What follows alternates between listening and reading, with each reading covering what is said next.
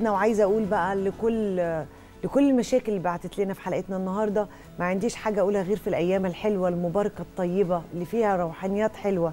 نصلي نصلي وندعي ونسبح زي ما فضيله الشيخ قال. ادعي بكل حاجة في قلبك حتى اللي ظلموكي. ادعي.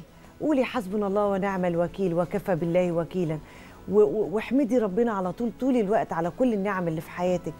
وكل ما بتصلي وكل ما بترميها كده ارمي همومك كلها على الله. هتلاقي ربنا عوضك والله بكل حاجة حلوة في حياتك. جربي بس كده وادعي لي بعد ما تجربي الوصفة دي. آه، أشوفكم الحلقة الجاية على خير إن شاء الله. وكل سنة وكل المصريين والطيبين ويا رب كده وقفة عرفات يعني كل دعوينا تبقى مستجابة.